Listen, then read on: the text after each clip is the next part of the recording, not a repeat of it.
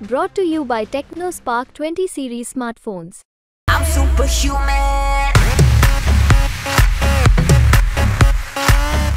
को जेल में डालना चाहते हैं जब आपने हमको जेल में डाला था प्यार के खिलाफ न्याय का एक आरंभ होता है न्याय की एक लड़ाई की शुरुआत होती है सबसे पहले मेरी आवाज़ जहाँ तक पहुँच रही है न्याय के इस आरंभ में पधारे सभी आदरणीय बुज़ुर्गों का, नौजवान साथियों का, माताओं, बहनों का, मजदूर भाइयों का, दुकानदार साथियों का, नौकरी करने वाले, बिज़नेस करने वाले, खून पसीने की कमाई से भरण पोषण करने वाले, दिल्ली की आप तमाम आदरणीय नागरिकों का और मतदाताओं का बहुत बहुत स्वागत करता हूँ उनका हार्दिक अभिनंदन।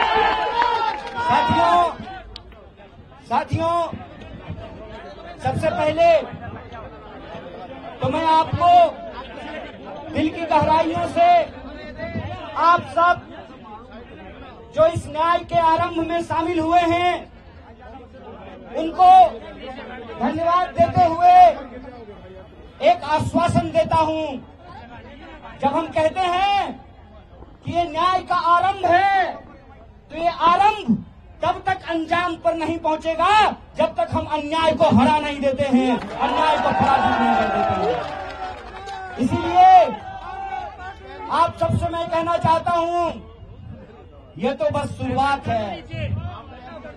एक नेता है देश में, कहते हैं कि टेलर दिखाएँगे। साहेब, हम आपको असली सनीमा दिखाएँगे। हम आपको असली सनीमा दिखाएँगे। हम आपको असली सनीमा दिखाएँगे, क्योंकि मेरा नाम कन्हैया है। और भगवान श्री कृष्ण का जन्म जेल में हुआ था। आपने हमको जेल में डाला। आप इस देश के विपक्ष के मुँह पर ताला लगाना चाहते हैं। विपक्ष के नेताओं को जेल में डालना चाहते हैं। जब आपने हमको जेल में डाला था, उसी तिहार में तो वहाँ से निकल करके हमने इस देश की सत्ता को चुनौती दिया था। हमने कहा था कि जब तक जेल में चना रहेगा, आना जाना लगा रहेगा। याद रखिएगा याद रखिएगा, ये वो देश है कि हम सहते भी हैं और जब पानी सर से ऊपर उड़ जाए तो अपनी पूरी ताकत से उसके खिलाफ लड़ते भी हैं। ये याद रखिएगा कि जब जब इस देश में सत्ता अहंकारी होती है, जब जब इस देश में पाप बढ़ता है, जब जब इस देश में अत्याचार बढ़ता है, तब तब उस अत्याचार के खिलाफ न्याय का एक आरंभ होता है न्याय की एक लड़ाई की शुरुआत होती है। और एक बात और एक बात। कुमार! आपका फ़ोटो आ गया। और एक बात मैं आप सबसे कहना चाहता हूँ कि धर्म का क्या मतलब होता है? धर्म का मतलब होता है निर्बल को शक्ति देना। धर्म का मतलब होता है सत्य के साथ खड़ा होना। कृष्ण जेल में पैदा हुए, चाहते तो सत्ता की तानाशाही के सामने झुक करके मामा कंस के दरबार में अपने लिए एक सीट पक्की कर लेते हैं। लेकिन भगवान, प्रभु श्री कृष्ण ने कंस के दरबार में जाना स्वीकार नहीं किया गोकुल वासियों का गाय चराना स्वीकार किया। इसीलिए आज जब मैं आपके बीच खड़ा हूँ, ये इतिहास का एक शानदार संयोग है। इतिहास का शानदार संयोग ये है कि इस देश के प्रधानमंत्री जी ने एक आदरणीय महिला को, मैं हर महिला का दिल से सम्मान करता हूँ, देश के प्रधानमंत्री जी ने इस देश की एक आदरणीय महिला के गले में मंगल सूत्र डाला। उस महिला का नाम यशोदा है और मेरा नाम कन्हैया है। ये याद रखिएगा कि इतिहास का संयोग है कि हम गंगा किनारे पैदा हुए, हमारी जन्मभूमि गंगा के किनारे है और आज हमारी कर्म भूमि यमुना का किनारा बन रहा है। और हम किताबों में पढ़ा करते थे कि यह कदम का पेड़ अगर माँ होता यमुना तीरे मैं भी उस पर बैठ कन्हैया बनता धीरे धीरे आज आज आप तमाम लोगों के सामने किसी एक व्यक्ति को सांसद बनाने का सवाल नहीं। आज आप तमाम लोगों के सामने किसी एक व्यक्ति को प्रधानमंत्री बनाने का सवाल नहीं। है आज आप तमाम लोगों के सामने किसी एक गठबंधन का सरकार बनाने का सवाल नहीं है। सवाल ये है कि इस देश के आम नागरिकों के आत्मसम्मान के साथ खेला जा रहा है। वोट की लड़ाई में मुझे कोई दिक्कत नहीं है। वोट की लड़ाई में कोई एक बार सांसद बने, दो बार सांसद बने कि दस बार सांसद बने, मुझे इस बात से दिक्कत नहीं है।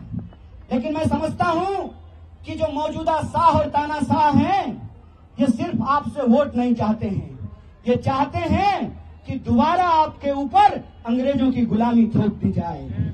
ये चाहते हैं कि इस देश में जो संविधान बना, बापू ने जिसके लिए खून बहाया, बापू ने अपनी जान गवाई, शहीद बापू कहा करते थे, रघुपति राघव, राजा राम, पतित पावन सीताराम, ईश्वर अल्लाह तेरो नाम, सबको सन्मति दे बापू के उस देश में, जब डॉक्टर बाबा साहब भीमराव अंबेडकर ने कहा कि संविधान की व्यवस्था में, चाहे हेलीकॉप्टर पर उड़ने वाला इंसान हो या जूता सिलने वाला इंसान हो, सबका वोट बराबर होगा।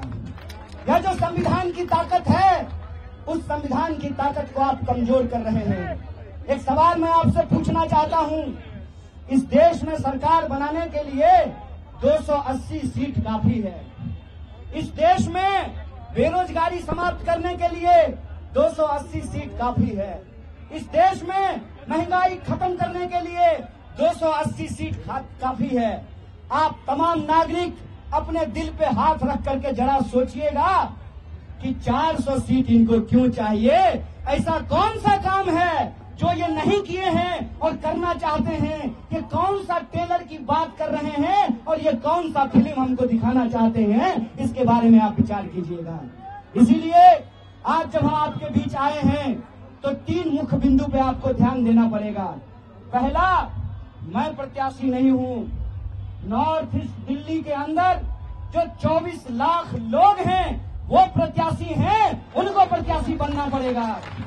ये बात मैं इसलिए कह रहा हूँ कि आप सोचिए, दिल्ली में सात सीट है, छह सीट पर टिकट काट दिया गया। साहेब सिंह वर्मा जी का बेटा का टिकट काट दिया गया और सुषमा स्वराज जी की बेटी को टिकट दे दिया गया। हायरे परिवार वाले सवाल ये है कि क्या वो छह सांसद काम नहीं करते थे? अगर काम नहीं करते थे तो उनका टिकट काटा गया। तो इस क्षेत्र के जो सांसद हैं, उनको क्यों टिकट दे दिया गया है? इस पर जरा आप लोग विचार कीजिएगा। और वो विपक्ष को गाली देते हैं। प्रधानमंत्री जी के नाम से वोट मांगते हैं, लेकिन ये नहीं बता पाते हैं कि 10 साल में उन्होंने नॉर्थ ईस्ट दिल्ली की जनता के लिए क्या किया है? आजकल मीडिया वाले लोग यहाँ खड़े हैं। मीडिया वाले कहते हैं कि चौदह हज़ार करोड़ का काम किया है। मीडिया में वो बोल रहे हैं। आप लोग बता दीजिए, माननीय सांसद जी का चौदह हज़ार करोड़ का काम दिखाई देता है? इसका क्या मतलब है? इसका क्या मतलब है? या तो हज़ार करोड़ रुपया दिया नहीं। या चौदह हज़ार करोड़ अगर रुपया दिया तो उसका हुआ क्या? उसका हुआ क्या? तो जब वोट मांगने आएँगे तो माननीय सांसद से पूछिएगा। सांसद जी बताइए, चौदह हज़ार करोड़ में कितना ज़ीरो होता है?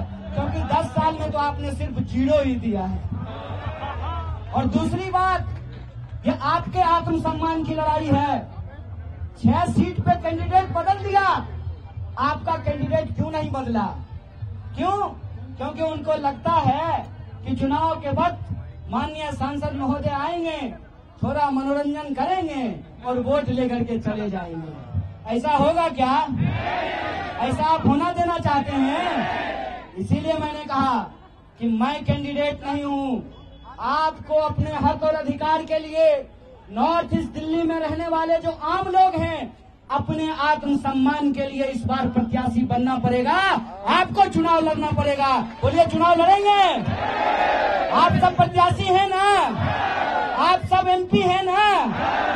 तो अभी एक मीडिया वाले पूछ रहे थे कि कुछ नेता नाराज़ हैं।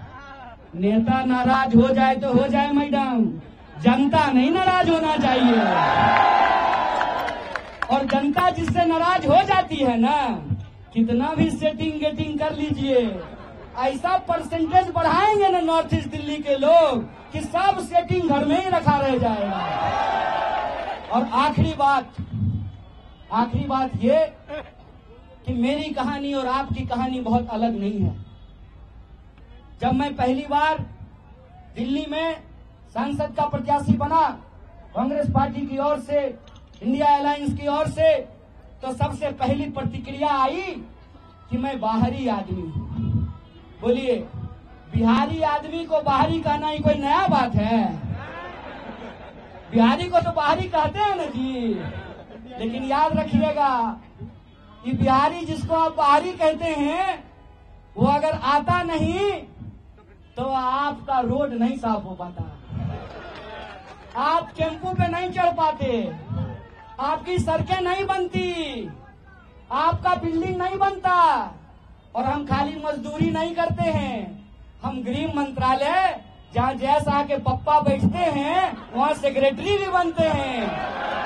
और और ये इस देश के संविधान की ताकत है कि एक आंगनबाड़ी का बच्चा भी पीएचडी करके ऑल इंडिया रैंक वन ला करके अपने नाम में शान से डॉक्टर कन्हैया कुमार लगा सकता है। ये इस देश के संविधान की ताकत है। इसीलिए मैं आप सबसे ये अपील करता हूँ, आप जानते हैं कि नॉर्थ ईस्ट दिल्ली में दस विधानसभा है और हमारे पास कोई साधन संसाधन नहीं है। हमने जो है कोई दवा कंपनी बनाने वाली कोई दवा बनाने वाली बेईमान कंपनी से इलेक्टोरल बॉन्ड से चंदा नहीं लिया। है हमारी तो पार्टी का खाता भी सीज कर दिया गया है। और कोई विरासत तो हमारे पास है नहीं। कोई हम गृह मंत्री हैं कि हमारा बेटा बीसीसीआई का सेक्रेटरी बन जाएगा। ना हमारे बाबूजी गृह मंत्री हैं। हमारी माता जी तो आंगनबाड़ी में काम करती हैं। तो ना हमारे पास सन है, न धन है, न संसाधन है। लेकिन हमारे पास एक चीज़ है। सूरत के लोगों की सीरत आप लोगों की नहीं होने देंगे। सूरत का सूरत का उम्मीदवार भाग गया और वहाँ के लाखों वोटर देखते रह गए और बिना चुने ही कोई एमपी बन गया। यहाँ खड़ा होकर के हम इस देश का नमक खाए हैं। आपके सामने ये शपथ लेते हैं कि हमारे शरीर में, हमारे रगों में आखिरी कतरे तक हम अन्याय के खिलाफ न्याय के लिए लड़ते रहेंगे, हम भागने वाले नहीं। इसीलिए आपसे हम अपील करते हैं कि ये लड़ाई अन्याय के खिलाफ न्याय की लड़ाई है। और इस न्याय की लड़ाई में बोलिए, आप न्याय योद्धा बनने के लिए तैयार हैं कि नहीं है? अगर आप न्याय योद्धा बनने के लिए तैयार हैं तो इस लड़ाई को हम पूरी शिद्दत से लड़ेंगे। आप अपनी आखिरी सांस तक लड़ेंगे। आपने आखिरी खून के बूंद तक लड़ेंगे। इस बात को याद रखिएगा।